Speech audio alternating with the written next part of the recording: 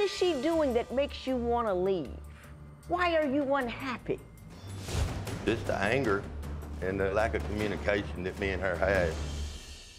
She's the judge who gives rules on the law and life.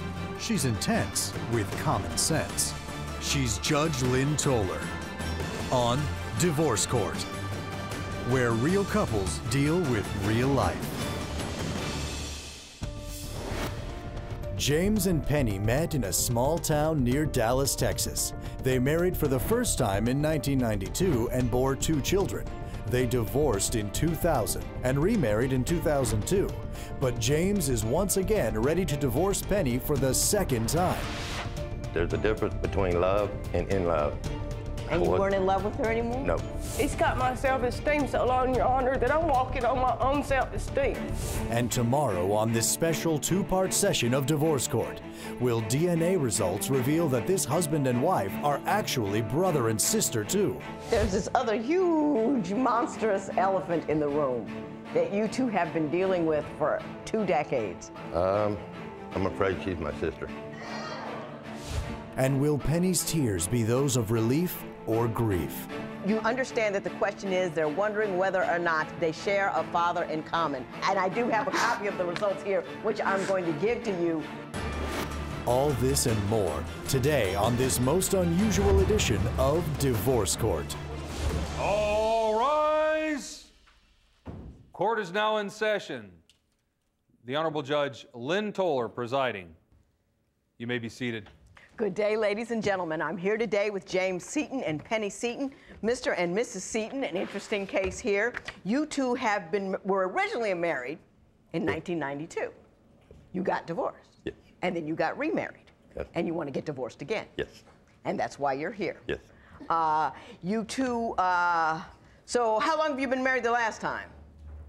This time? This, this, yeah, this- Uh, since 02. since 02. Yes. So about, you, you guys go for 10 years, get divorced, 10 years, looking for a divorce. Yes.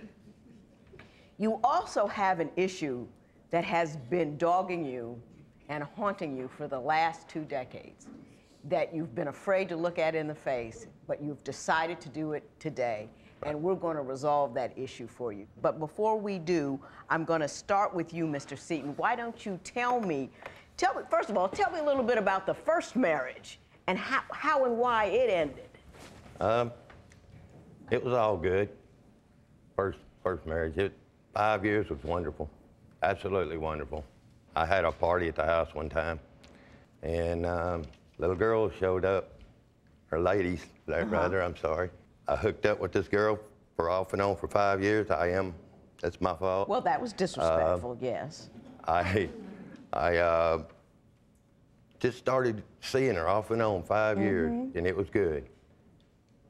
Miss Seaton over here, she started getting an anger problem. Then I seen, I, I was seeing this other girl after that. Okay. Now, now hang on, Mrs. Seaton is. I, I assume the story is accurate because nobody would tell that story on themselves and it not be true. Did he start seeing another woman in Yes. the fifth year of your first marriage? Yes, for five years. For five years now. Did you know about it the entire five years? I didn't know about it the whole five. I oh, so he was sneaking it. around behind your back. Yes, ma'am. I had an idea, but I couldn't catch him. You couldn't catch him. Did you have an idea it was her? Or did you think he was just was philandering her. in general? She made phone calls. What'd she say? Kept calling his cell phone, and the cell phone bill come in my name. So, So you knew. I knew when it was about 40 calls a month to the same number, back Mm-hmm. and forth. I set her straight when she called. When did you finally catch him, or when did you? It finally came to a point you said, "Well, you're not going to put up with it anymore, and you're going to leave." What Actually- happened? Actually, he followed on me the first time, and I just signed the papers and let him have everything. Did you? You were cheating on her. Yep. She pretty much was keeping her eyes closed and letting you letting you have your cake and eat it too, That- and you still filed. yes, ma'am. Why? There's a difference between love and in love. And you What- weren't in love with her anymore. No, You were in love with this other woman. not really. It was just, uh, I guess, a fling type thing. Five years is a little more than a fling when you say, Mr. I Seaton. would too. Yes, ma'am. Mr. S- Mrs. Seaton, what did he tell you? He's not seeing nobody. He's not seeing nobody. Oh, then he was telling you he wasn't seeing anybody. Yeah. Uh-huh. We But had why little- did he say he wanted a divorce? What was going on that I ended think it? this one little person, he was seeing her and I found out about it. And we had a place way out in the country, way out there. He had the only vehicle, picked her up, left me at the house for overnight. And I couldn't borrow a car because I was going to have a car than borrowed. Overnight. And I was going to go down there and catch them. It was more than overnight. Did you do that? Yes, ma'am, I did. It, it was not overnight. It was for two days. So, Did you feel okay with that? Was that no, I knew I was doing wrong. But, hey, I just wanted to get out in the real world and figure it out, you know? That's just the way it was. Um, how come you let him have everything? Didn't have nothing to, I didn't have nothing to lose.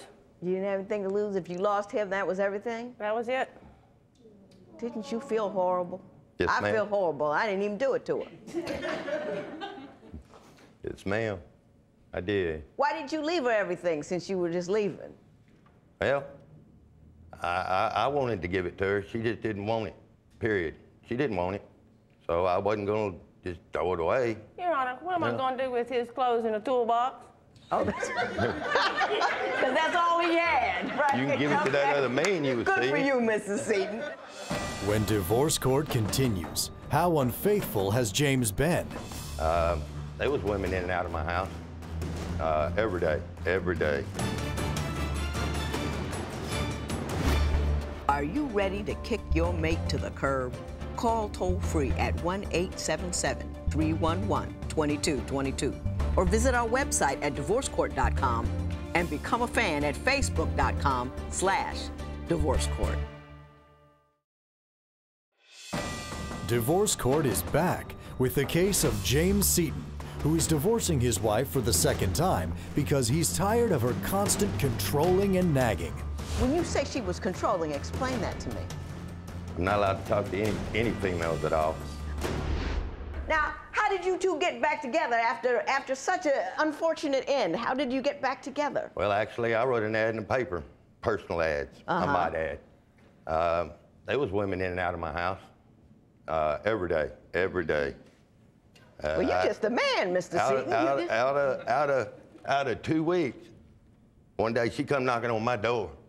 I, I had to let her in. I had to make some room. You know, I I'm not gonna let her sit out there. so you were rotating your women. Yes, ma'am. and, and, and, she knocked on the door and eased into your rotation. No, I let her in. I'm Yeah, not well, gonna well, yeah, no, you're her. not you e- she eased away into your rotation, Right.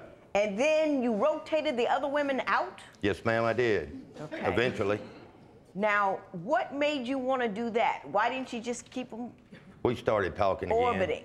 We started talking again, and um, And you figured out you were, in fact, in love with her. uh, yes, ma'am, I did. At that point, I did, and um, Did we you hear talked- that part, Miss Seaton? We talked. We talked several, several, several weeks. It wasn't just Several one day, several weeks.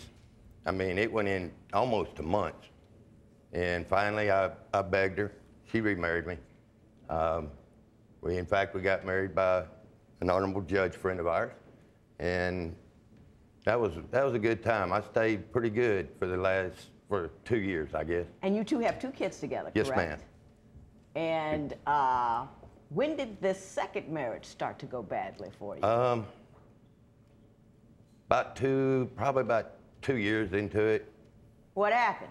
Uh, well, I was at woman, home. was it? I was in kind of in between a job. I was at home, and this lady here, she worked in the evening time, Uh-huh. and I knew exactly what time she come home. Right. Uh, guess what? this time she was two hours early. Uh, well, throwed Caught me you out. right in the middle. No, huh? she throwed me out and throwed that girl out and throwed her clothes outside and told her to get dressed outside. You got Your Honor, I did. Yeah. I, Now, Mr. Seaton, Actually, go ahead, go ahead. actually, he got it almost right. I yanked her out first. well, Then Then turned turn Close around. enough. and he came, he followed. I was going home for a surprise, surprise him, but I got surprised. Oh, so you didn't know? He was at it again. Was he a ladies' man the entire time when you met him? Was he Was he dating a lot of women? Was he always like that? Because apparently he is a ladies' man, right? Yes, ma'am. You like the women. Yes, ma'am. There you go. Well, he was dating another one when, I, when he was dating me, and he chose me over her. Right. And so you, you, you thought he meant it. Yeah. Now, now, Mr. But some of these women I've seen on, especially that one, I don't know what he's seen in her. Oh, come on now. She's a, just a female. it's just free. That's it. Yeah, it's just I'm not gonna say. that, yeah, Uh, that, that- smart man. So after you caught him, then what happened? That's it. We're here. No, actually, what happened was she caught me the second time. Uh huh. Well, tell me about the second time. No, it's the second time. This is, it's not funny, but Mr. Seaton is a funny guy. I mean, I, I, I'm not making making light of the situation because it's terrible, Mr. Well, she Seaton. just She's a take nice care lady. of. She's just trying to take what belongs to her, but you Well, know. what, well, what happened the second time? Uh, she come home from work one day and I miscalculated. The lady was driving out the driveway. She pulls in, hollered at her. She stopped. There was a brick laying on the ground and out went the windows. When divorce court continues, is Penny ready for this marriage to end? Now, Mrs. Seaton, you done with him this time? I've had a hard life, and he's all the family I got left. And tomorrow, after 20 years, DNA results will reveal if James and Penny are actually brother and sister. We did calculations and we determined with a 99.3% certainty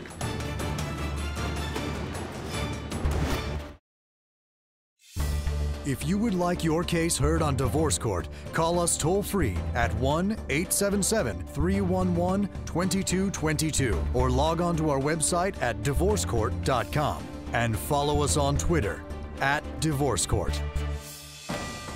Divorce Court returns with the case of Penny Seaton, who claims she has caught her husband James cheating with other women in their home.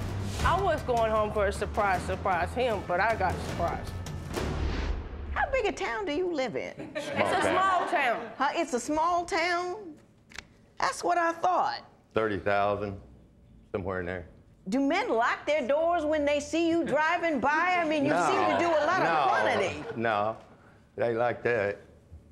No, ma'am. Now, Mrs. Seaton, you done with him this time? I don't really want a divorce. I love this man. He's wanting one. I've had a hard life, and he's all the family I got left. Did you hear that, Mr. Seaton? Yes, ma'am, I did. She said, I had a hard life, Yes, ma'am. and he's all I know. Yes, ma'am. And it's been through cheating, and she still wants you, and she still wants to love you, and she still wants to be with you. Yes, ma'am. When you see somebody who's loved you like that, and is standing here in front of the world saying, despite what he did, I still love him, what does that make you feel? Horrible. Horrible. Was she good to you when she was with you? Yes, ma'am. Was she kind to you and cared for you? Yes, and loved you? Except for the possessiveness and the controlling and the lack of communication in our marriage. Yes, ma'am. Well, now that's a lot of accepts. Yes, ma'am. When you say she was controlling, explain that to me. Um, I'm not allowed to talk to any any females at all. But She you kinda understand that, don't yeah, you, though? I understand. But then when I'm talking to another female, she want to stick her nose up in things and want to know where I'm sa- what I'm doing at the whole all the time. But you kind of bought that, though, didn't Well, you? I did. I mean, if, I, if, if, I'm standing here with a hammer, and every time you walk by, I'd clunk you on the head with it. It's gonna hurt. And then the ninth time, I said, come on, I'm not going to clunk you. You're still going to duck. Right. She's still ducking, because usually when you she walks by, you clunk her. Yes, ma'am. So you can't really say she's controlling or possessive. She's just uh, responding appropriately to incoming stimuli, Yes, which ma'am. you run around. I did. When divorce court continues, Judge Lynn gives James a lesson on trust. He don't trust me. Well, you know. I don't trust you. Joe don't trust you. Nobody in here trusts you because Sorry. you've proven to be untrustworthy.